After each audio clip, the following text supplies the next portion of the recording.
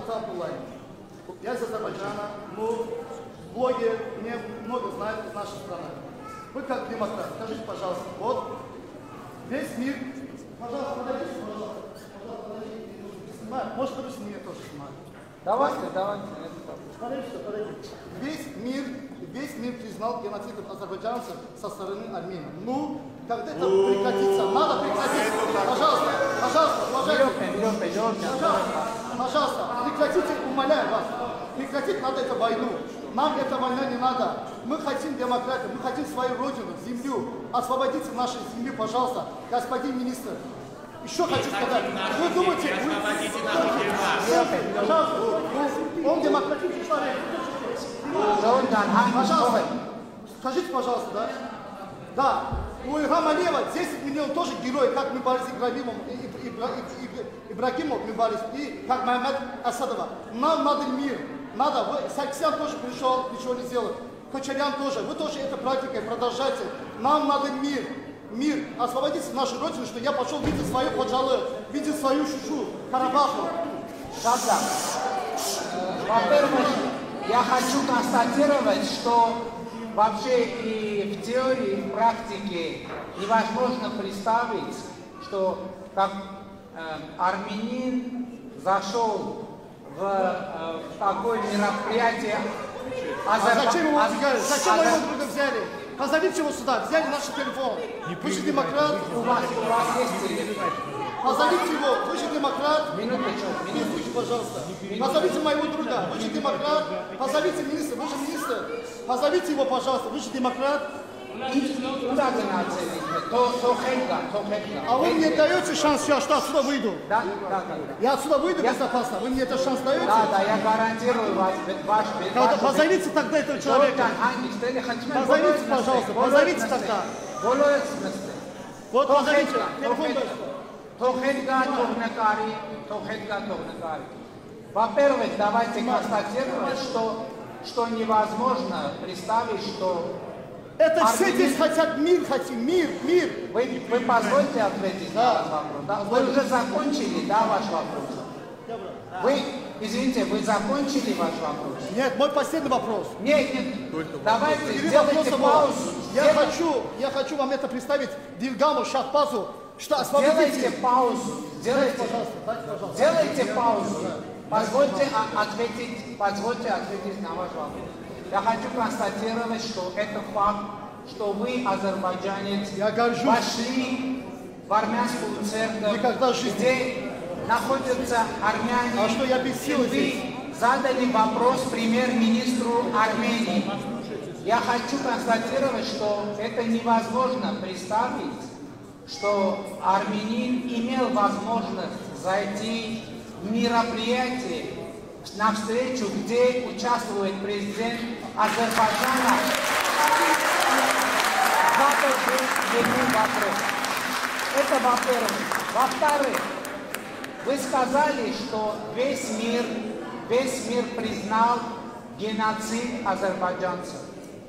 Это, это, это обыкновенная ложь, потому что даже бывший президент Азербайджана Аяз Муталипов дал интервью газете, независимой газете российской, и это интервью есть, и сказал, что событие в Ходжалу организовала азербайджанская оппозиция, чтобы организовать изменение власти, переворот в Азербайджане. В-третьих, Скажите, Нагорный когда будет мир? Мир когда будет мир? в-третьих, я сказал, я предложил, я хочу, или хочешь, Почему? Я здесь один вас много. не беспокойтесь, все нормально. Третье, я предложил формулу мира президенту Ильхаму Алиеву. Я сказал, я первый лидер Армении, который заявил, что любое решение Нагорно-Карабахской проблемы должно быть приемлемым для народа Армении, для народа Нагорного Карабаха, для народа Азербайджана. А когда... Я предлагаю, что президент Азербайджана сделал такое же заявление, потому что это главная формула и платформа для мира, для стабильности в нашем регионе. В-третьих, как в 1988 году парламент, тогда назывался Верховный Совет, на автономной области Нагорного Карабаха использовал свое законное право на самоопределение.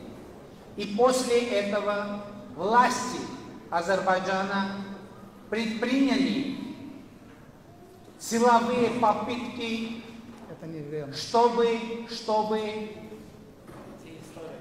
чтобы Это неверно. взять законные права у Верховного Совета Нагорного Карабаха.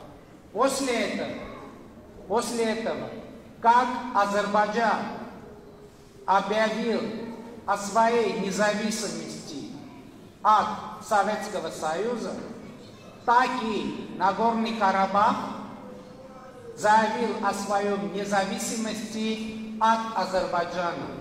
И как Азербайджан стал независимым государством, так и Нагорный Карабах стал независимым государством, законным. Третье. После этого Азербайджан начал агрессию против народа Нагорного Карабаха. Вот вы говорили про Шушу, а из, из Шуши, из Шуши ежедневно бомбили мирное население Степанакерта. Ежедневно бомбили детей, бомбили женщин. И народ Нагорного Карабаха принял правильное решение, и он организовал самооборону. Я горжусь народом Нагорного Карабаха, Я горжусь что он сумел защитить себя. И те агрессивные выпады, которые организовали азербайджанцы, они, та ситуация, они поняли, что нельзя говорить силой с народом Нагорного Карабаха. И я надеюсь, что были сделаны соответствующие выводы, и президент Азербайджана примет мое предложение и сделает заявление о том, что любое решение Нагорно-Карабахского конфликта должно быть приемлемо для народа Армении, для народа Нагорного Карабаха и для вы народа Шахбаза. А- Азербайджана.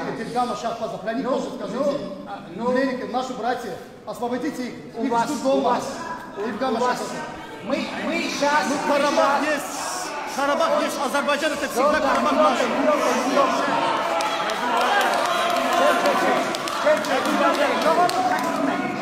Me.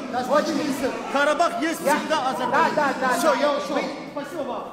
Безопасно, Спасибо. безопасно, безопасно. скажи. Да, да, да, у вас есть Скажите, проблем, пожалуйста. Да, да, да. Да, да. Безопасно, Пожалуйста. узите.